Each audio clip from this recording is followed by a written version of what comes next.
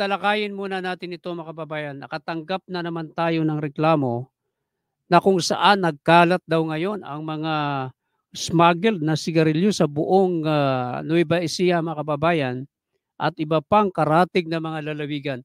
Alam ba ninyo ang smuggled na sigar- sigarilyo ay uh, yan ay maituturing mo na mga peke dahil iyan ay galing po sa China mga kaibigan. Isipin mo ang uh, halaga ng presyo ng perkaha ng sigarilyo ngayon ay 60 pesos pataas kung di tayo nagkakamali.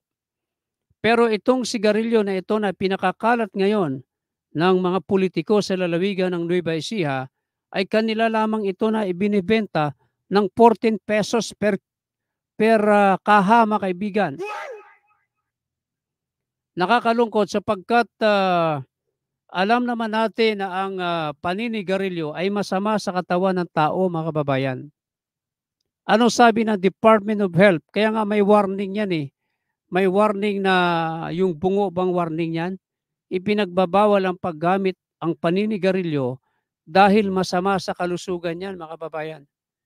Pero itong mga gahaman at sakim sa uh, sakim sa kayamanan sa salapi ay walang pakundangan na nagpapakalat ng mga peking sigarilyo. Ito mga politiko na ito na ating papangalanan mamaya. Diyan sa sigarilyo na yan ay may warning sign na kung saan may sakit na nakukuha na naka-indicate sa kahama kaibigan. Pero ang ating mga kababayan na mahilig manigarilyo ay naninigarilyo pa rin at tumitiba ng gusto itong mga supplier ng sigarilyo dahil nabibili lamang ng ating mga kababayan ang sigarilyo katulad ng Two Moon, uh, Philip, at yung uh, fortune fortune uh, cigarette mga kababayan.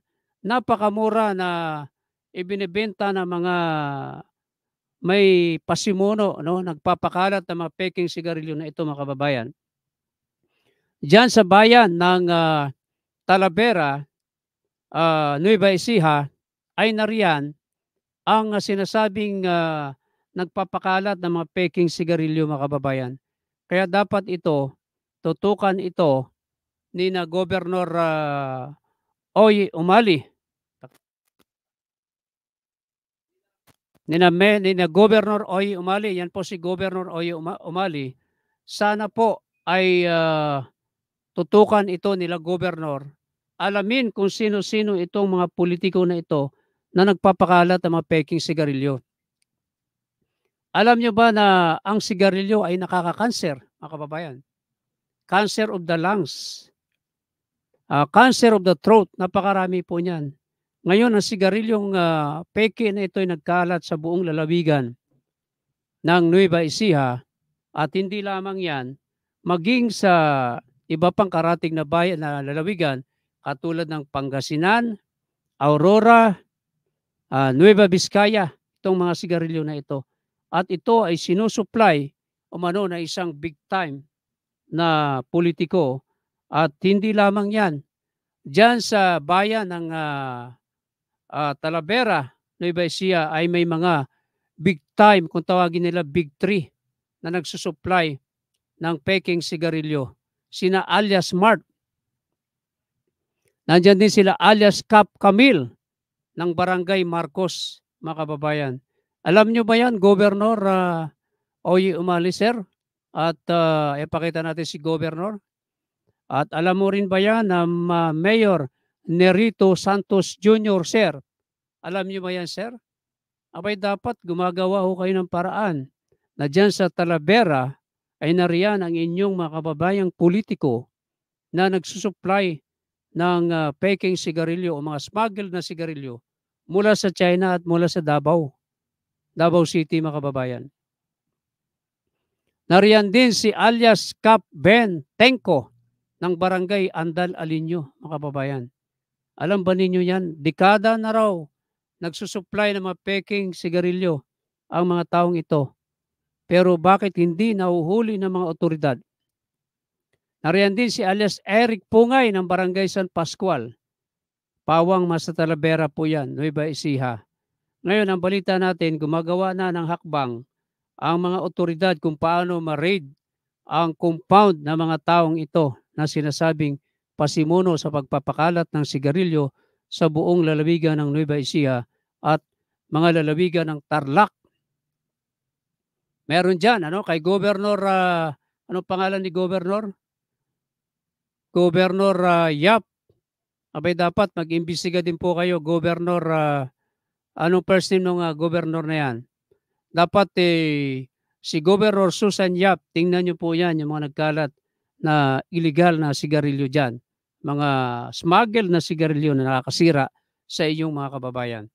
Tingnan na rin ninyo, uh, Governor, yung mga nagkalat dyan na illegal gambling dyan sa Tarlac City, sa buong lalawigan ng Tarlac, katulad ng mga uh, mga color game, napakarami po dyan, at mga sakla sa buong Tarlac, Governor Yap. At uh, alam yan ni Police Colonel uh, Miguel uh, uh, Cruz, no? Miguel uh, Guzman, alam po yan ni Colonel Miguel Guzman yung mga illegal gambling dyan. Pero bakit hindi inaaksyonan ni Colonel Miguel Guzman, ang Provincial Director ng PNP sa lalawigan ng Tarlac mga kababayan. Ayan, ayan po si Colonel ah, Miguel Guzman. Sir, dapat ipatigil na po ninyo yung mga illegal dyan, illegal na peking sigarilyo, mga color game, at mga uh, peking sigarilyo dyan. No? At yung sakla na yan, sir, nakakasira yan sa taong bayan kay Governor uh, uh, Gambito ng Nueva Vizcaya, sir. Tingnan po ninyo ha. Ang sumbong ko sa amin, nagkalat ang mga peking sigarilyo dyan. Pakitingnan po lamang. At kay Aurora Governor, anong pangalan yan? Aurora Governor, uh, anong pangalan ni Governor ng uh, Aurora? Si Governor Reynante Amansek, no? Kaupo lamang itong uh, Governor Tolentino, Governor Renante Amansik Tolentino, sir, pakitingnan niyo po yan. At maging dyan sa Pangasinan, nagkalat din daw dyan ang mga peking sigarilyo. Sino bang governor dyan? Si Governor uh, es Espino, no? Ang gobernador dyan si Espino. Dating uh, si congressman, kilala natin ang governor dyan. Ngayon ang nakaupong governor dyan ay yung anak na batang Espino. Ngayon, ang ibig nating sabihin dito, wala tayong masamang tinapay sa mga taong ito na isumbong lamang sa ating programa itong sina alias Cap uh, Camille ng Barangay Marcos at si alias Cap Bentenco ng Barangay Andal Alinyo. Alias Eric Pungay at alias Mart na dapat ito aksyonan ito ni Governor uh, Oye Umali at uh, Mayor Nerito Santos Jr. At hindi lamang yan, ha? alam nyo ba mga kababayan, kay uh, Executive Secretary uh, Lucas Bersamin, Sir, kung maiimbestigan nyo ito, kung noong panahon ni uh, Presidente Duterte, pinagbayad niya ng 13 billion ang uh, Mighty Corporation na siyang pinakamalaking uh, manufacturer ng sigarilyo na yung uh, uh, yung uh, Fortune at kung ano-ano pa pinagbayad sila ni uh, President Duterte ng 13 billion dahil natuklasan ng gobyerno, natuklasan ng BIR na pinipeke nila ang label ng kanilang uh, sigarilyo na sila ay bayad ng tax, yung pala ay hindi bayad. Ngayon, po pwedeng makakuha ng malaking halaga, ayan ang Mighty Corporation, pwedeng makakuha ang gobyerno ng malaking halaga ng buwis kung aaksyonan ito ni Executive Secretary Lucas Bersamin na napakagaling mga kababayan. Ha? Tutukan niyo po ito, uh, Executive Secretary Lucas Bersamin na masingil ng buwis ang mga nagpapakalat ng sigarilyo na ito at uh, ipakalabuso na ninyo ito sa National Bureau of Investigation as sa CIDG, PNP, mga kababayan. Ngayon, inahamon natin ang mga opisyal na ito ng gobyerno na i-raid ang uh, compound ng mga politiko na ito na pasimuno sa pagpapakalat ng uh, sigarilyo sa buong lalawigan ng uh, Nueva Ecija, Nueva Vizcaya, Pampanga, uh, Tarlac, Aurora, Pangasinan. Isama na rin natin ang Bulacan dyan, mga kababayan, na kung saan isang alias Mart Ople ang sinasabing uh, pasimuno naman ng smuggle na sigarilyo o mga peking sigarilyo.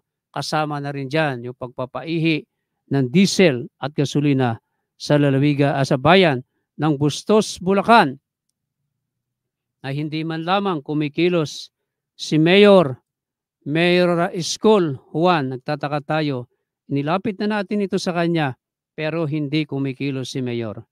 Okay, magbasa muna tayo ng komento sa ating mga nakikinig at nanonood sa ating programa. Sir Rome Lanzarote, shout out. Ayan. Boboy Ama, good evening. Sir, watching from Pangasinan.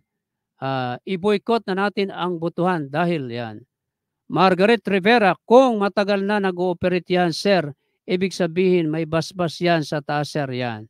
Margaret Rivera, may kasabwat yan kung ganon, sir.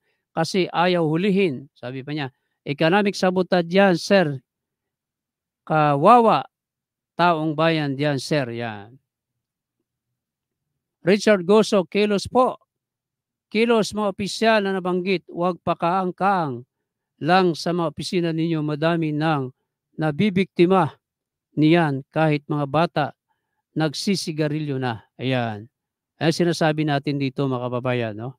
Ito, itong ating mga binabanggit, uh, Sir Lino Espinosa Lim Jr., yes, sisirain lang nila ang buhay ng tao as it is stated for the for the who has not seen cast the first stone. Uh,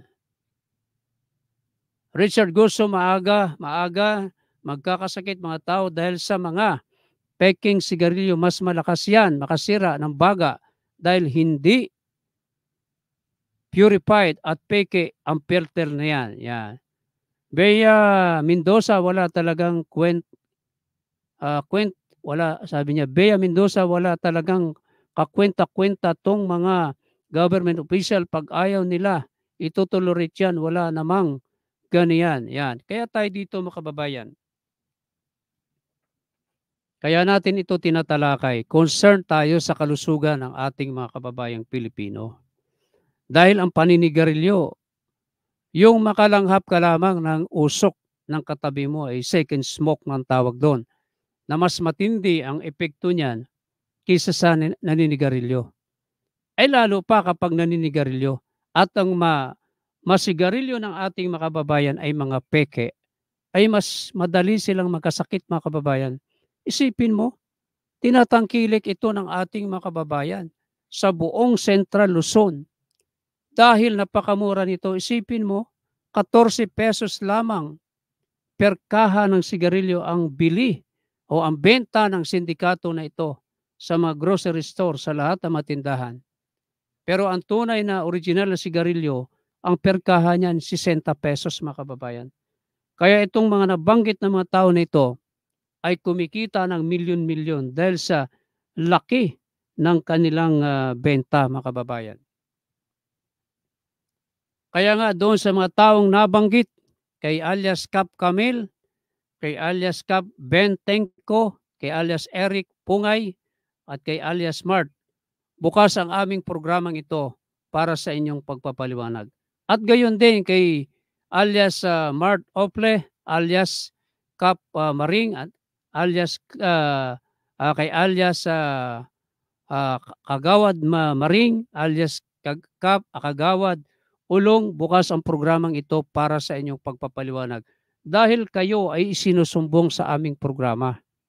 Ngayon sa ating mga otoridad, sa ating mga gobernor na ating binanggit, abay dapat magsikilos na kayo. Dahil makakasira ito sa kalusugan ng inyong mga constituent at kay Secretary uh, Executive Secretary uh, uh, Lucas Bersamin, sir, kumilos na po kayo. Paimbisiga na po ninyo ito sa NBI at sa CIDG PNP, tumatawang ito. Iparade na po ninyo ito dahil ito makakasira ito sa ah, kalusugan ng ating mga kababayan at malaking buwis po ang makukuha ng gobyerno kapag nahabol natin ang mga taong ito. Kaya nga umaasa tayo, nakikilos ang ating mga opisyal ng gobyerno para kasuhan ang mga taong ito para hindi na kumalat ang mga peking sigarilyong ito. Basahin natin ang mga comment. Richard Goso, kakaiba po ang filter niyan, peking sigarilyo dahil na dahil natikman ko na yan. Diretsahan mo siyang hinihitit parang walang filter ang sakit sa lalamunan, di ba? Bea Mendoza sa ibang bansa, ang daming pinapatupad ng government official para sa help ng uh, community. Tas dito sa Pinas, pinapapasok lang yan, illegal yan, tas ito-tolerate. Ayan yung mga sigarilyo na yan, eh galing po yan daw yan sa China, mga kababayan. At galing din daw yan sa Davao. Alam naman natin ang Davao, yan ay napakaluwag dyan, no? yung uh, kanilang uh, pier dyan dahil nandyan din ang Davao Group, mga kababayan. Diyan din dumadaan ang mga Chinese. Diyan din dumadaan ang mga produkto ng mga Chino. Kaya nga itong uh, mga smuggle na sigarilyo na ito ay galing sa China ito. Kaya delikado ito. Bagamat ang lasa naman daw ay ayos naman, kaya tinatangkilik ng ating makababayan. Kaya dapat talagang hulihin na ng uh, mga otoridad ito, mga taong ito na involved sa pagpapakalat ng illegal na sigarilyo, ito mga peking sigarilyo na ito. Kasama na rin dyan ang paihi ng diesel at gasolina dyan sa Nueva Ecija. Meron din ha. ha? Meron din dyan. At gayon din sa bayan ng uh, Bustos, Bulacan, yung paihi ng diesel at gasolina at yung kay Mart uh, Ople na mga peking sigarilyo. Ayan si Sir Lino Espinosa Lim Jr. Basahin natin comment niya. Uh, alam na ng gobyerno na masama sa kalusugan ang manini ang maninigarilyo maging original o fake ang produkto pero dahil sa malaking pera ang uh, nag-generate diyan sa negosyo na yan, kaya pinapayagan ang mga produkto, pinapayagan ang mga produkto ng sigarilyo. Ang kapalit para sa pagpayag ng gobyerno ay ang tinatawag na sin tax o maka makasala ng buwis kamar. Tinan mo nga naman yan, no? Ha? Ibig sabihin, yung syntax na yan, ako ang gobyerno halimbawa, tatanggapin ko ang uh, ang tax mo kahit yan ay makasala ng tax sapagkat iyan ay malaking kita ng gobyerno na makapag-deliver ng mga uh, general services sa ating mga kababayan. Pero ang kapalit niyan ay ang kalusugan ng mga Pilipino mga kababayan. Di ba? Syntax yan, pinayagan ng Duterte administration yan. Hanggang ngayon, wala pa namang batas na nare-repeal para ika nga tuluyan nang ipagbawal ang sigarilyo kasi malaking ang kita. Ay ilang bil, ilang milyon na ba tayo? 110 million mahigit Pilipino. Ilan ang naninigarilyo? Pagpalagay mo na ang, ang naninigarilyo ay 60 million, no? Kalahati na lang.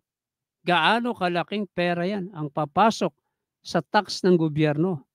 At gaano kalaking pera naman yung mga smuggled na sigarilyo na yan o mga peking sigarilyo na yan na ibinibenta sa murang halaga. Sipin mo, tatlong piso lamang ang per stick niyan samantalang ang tunay na sigarilyo ay uh, ah, 10 piso ang halaga, di ba? Sir Lino Espinosa Lim Jr., sabi niya, It is large industry, Kamar. Yan, tinan mo nga, no? Large industry talaga talagang. Kaya nga, Sir Lino, itong mga binabanggit natin na mga uh, sindikato na nagpapakalat ng peking sigarilyo ay dapat hulihin, kasuhan, at pagbayarin ng milyon, milyon na buwis ng gobyerno at sila ay kasuhan. Dahil iyan ay malinaw na economic sabotage. Hindi sila nagbabayad ng buwis at sinisira pa nila ang kalusugan ng mga Pilipino. Di ba, Sir Lino? Sabi niya, it is a large industry, Kamar. Tama. Big industry. Napakalaki. Large. Ay talaga naman, ano?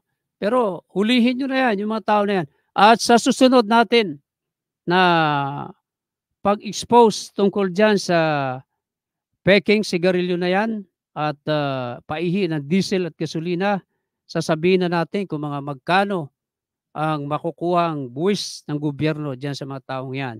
At bukod pa dyan, atin na rin tatalakayin ng iba pang mga taong nasa likod ng peking sigarilyo na yan. Abangan po natin yan.